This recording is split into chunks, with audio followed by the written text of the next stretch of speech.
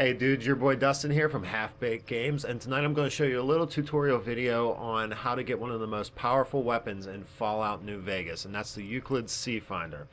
Now, first thing you want to do is go to uh, New Vegas and go to the east gate of Freeside, and you'll know you're at the right gate because it's the one that's uh, right next to Mick and Ralph's. Um, now, right next to Mick and Ralph's is another little abandoned building. Hey um, well, I guess it's not really abandoned, but go up to the top steps, and in the daytime, um, you can pay this kid a thousand caps, I believe it is, or you can just go ahead and uh, You're funny looking. steal steal from him, pickpocket, and he has. I, I already did it, so you won't see it on him in this, but um, you will see the Euclid C Finder on him. Um, just pickpocket that from him, and then I'll take you to the next step. Alright, next thing you want to do is open up your Pip-Boy and go to your map. And you're going to want to go to Helios 1. If you're not familiar where that is, it's really easy to find. Um, it's actually just a little bit north of Novak, which is a town you're going to come on um, if you just do the main quest line anyway. So if you haven't reached it yet, if you don't know where it's at yet, hang in there, you'll find it soon.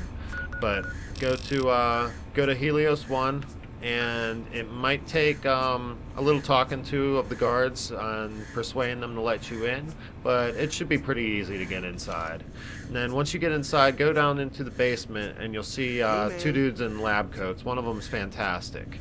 Uh, talk to him and you'll get a quest called uh, the Lucky Old Sun Hey and whenever you uh, whenever you do that quest, um, that's what leads you up to being able to charge the Euclid C Finder, so it actually becomes the powerful weapon that it is.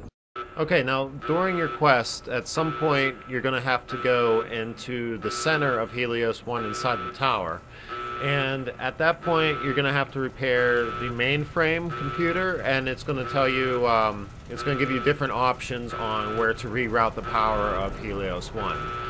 Um, whenever you go into the mainframe, you go up and you want to um, access the computer, and you want to reroute the power to the Archimedes 2. I believe it's uh, no, option number 4, but uh, that's the one that's going to power up your weapon.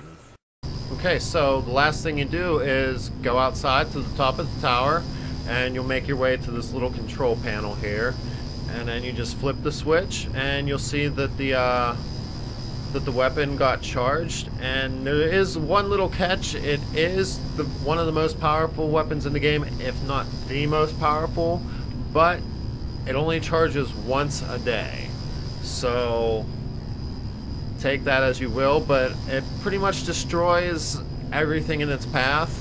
Um, so if you get in a jam, it's pretty good for that. Um, but other than that, it's um, pretty easy to get to.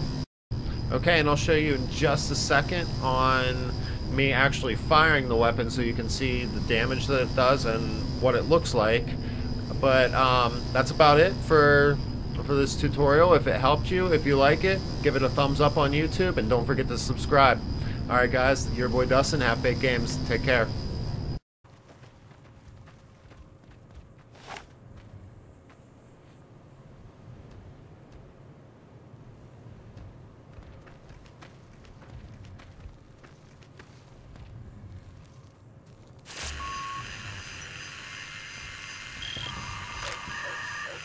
Uh, yeah.